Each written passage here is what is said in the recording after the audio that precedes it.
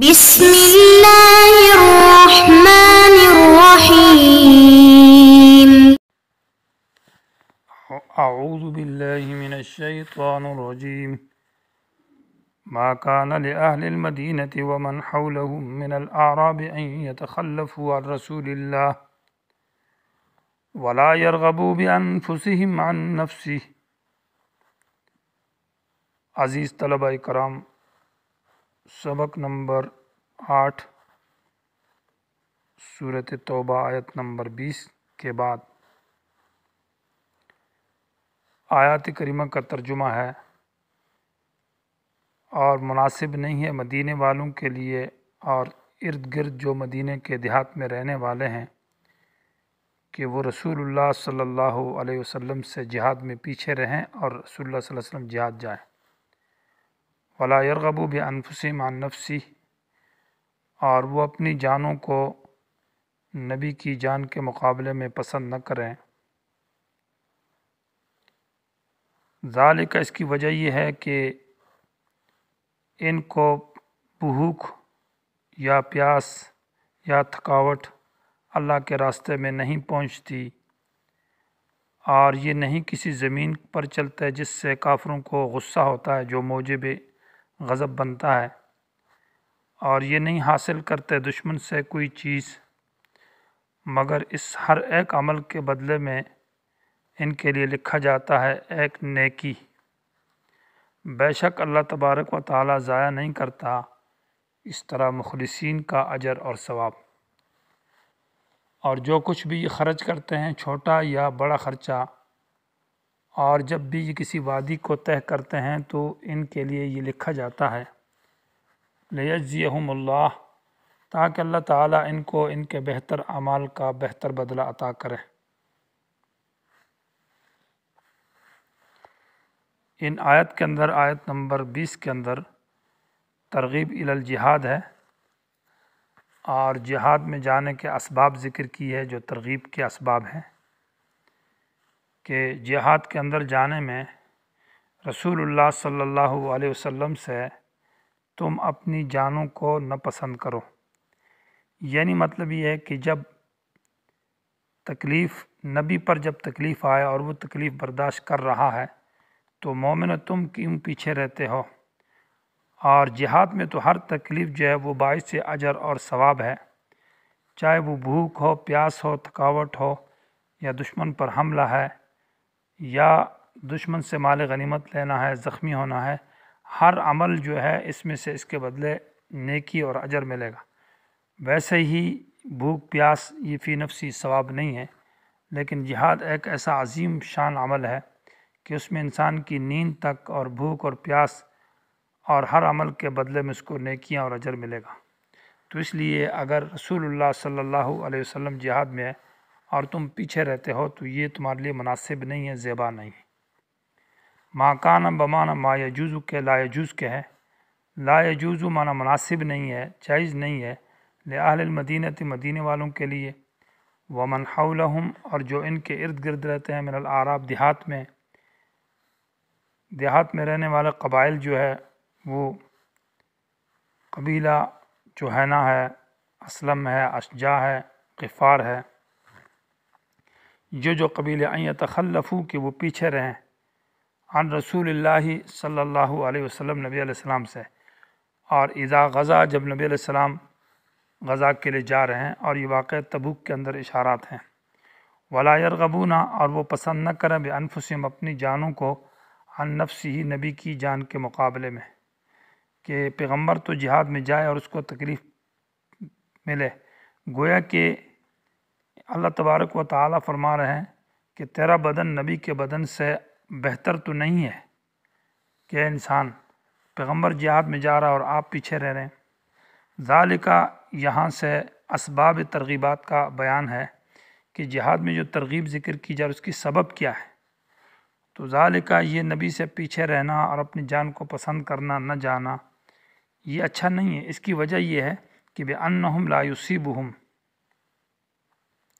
اس وجہ سے کہ ان لوگوں کو نہیں پہنچتی زمان پیاس، ولا نصبن اور تھکاوٹ، ولا مخمصتن اور بھوک فی سبیل اللہ مراد جہاد ہے۔ ولا یتعون موت ان وتی کا وط الوط بالاقدام یعنی قدم زمین کے اوپر رکھنا اور روننا۔ موتعن مانا وہ جگہ جس میں مجاہد قدم رکھتا ہے۔ کسی وادی میں جا رہے ہیں اور یغیز الکفار جو کافروں کے لیے غصہ کا سبب بنتی ہے۔ مجاہدین جب چلتے ہیں حملے کے لیے یا کسی جگہ میں جمع ہوتے ہیں یا آگے پیچھے تو کافروں کو غصہ آتا ہے۔ ولا ینالون من عدو نیلن اور نہیں حاصل کرتے دشمن سے نیلن کوئی حاصل کرنا۔ مراد دشمن کو قتل کرنا، کافر کو یا مال غنیمت لینا یا کوئی اور ان سے بدلہ لینا۔ اللہ کتب لہم مگر لکھا جاتا ہے لہم ان مجاہدین کے لیے بھی ہی اس ہر نیک عمل کے بدلے میں یہ جو اس کا کام ہے، بھوک ہے، پیاس ہے، عمل صالحن مانس ثواب۔ یہاں پر گویا کہ یہ بھوک ہو گئی یا پیاس ہو گئی یا تھکاوٹ ہو گئی یا کسی وادی کو طے کرنا، قدم رکھنا فی نفسی ہی ان تکالیف کے اندر ثواب نہیں ہے، بلکہ ان میں اجر اور ثواب جو ہے وہ جہاد کی وجہ سے ہے۔ اس لیے کہا کہ اللہ کتب لہم لکھا جائے گا ان کے لیے بھی ہی اس مذکورہ اعمال کی وجہ سے عمل صالح، نیک عمل۔ ان اللہ، بے شک اللہ تعالیٰ ضائع نہیں کرتا اجر المحسنین، مخلصین کا اجر۔ المحسنین میں اشارہ ہے کہ جہاد کے اندر جو کچھ بھی تکلیف، پیاس، بھوک انسان برداشت کرتا ہے، اس کا اجر اور ثواب تب ملے گا جبکہ انسان کا عقیدہ ٹھیک ہو اور عمل بھی ٹھیک ہو یعنی سنت کے موافق ہو۔ اخلاص و عقیدے میں ریاکاری شہرت، شرک نہ ہو۔ اور جو ہے وہ عمل جو ہے نا سنت کے موافق ہو۔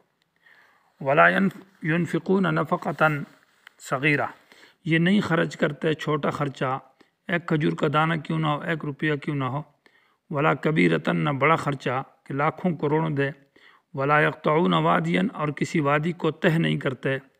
وادی کہتے ہیں جو پہاڑوں کے درمیان میں میدان ہو، جس میں پانی بہ رہا ہو عام صحرا مراد ہے۔ اللہ کتب الحم مگر ان کے لیے یہ وادی لکھی جائے گی، یہ نفقہ لکھا جائے گا، صغیرہ اور کبیرہ۔ سوال یہ ہے کہ پیچھے آیت میں کہا اللہ کتب الحم بھی عمل صالح۔ اور یہاں کا اللہ کتب الحم تو فرق کیا ہے؟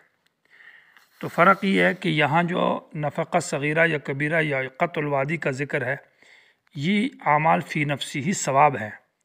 کیونکہ اللہ کے راستے میں جہاد میں جو خرچ کرتا ہے، یہ خرچ فی نفسی نفقہ صغیرہ یہ ایک عمل ہے نیک، اور کبیرہ یہ بھی نیک عمل ہے، اور قط الوادی جو جہاد کے لیے جا رہا ہے، یہ بھی ایک نیک عمل ہے۔ گوئے کہ یہ وادی لکھی جائے گی، یہ نفقہ صغیرہ لکھا جائے گا، یہ کبیرہ لکھا جائے گا۔ بخلاف پہلے بھوک اور پیاس وغیرہ جو تھی، وہ فی نفسی ہی ثواب نہیں تھے، بلکہ وہ جہاد کی وجہ سے ثواب تھا، اس لیے ان کے بدلے میں نیکی لکھی جائے گی، یہ فرق ہے۔ اور یہاں پر جو چیزیں ہیں، یہ فی نفسی ہی خود نیکی ہے، خود عمل ہے۔ لیجزیہم اللہ، تاکہ اللہ تعالیٰ بدلہ دے، احسن، بہتر بدلہ، ما کانو یعملون، ان اعمال کا جو یہ کرتے ہیں۔ یہاں پر سوال ہی پیدا ہوتا ہے کہ اللہ تعالیٰ ان کو بدلہ دے گا احسن ما، احسن مضاف ہے اور ما کانو یعملون، یہ مضاف لے ہے تو معنی یہ ہوگا کہ ان کے اعمال میں جو احسن عمل ہے، بہتر عمل ہے، اس کا بدلہ دے گا اللہ۔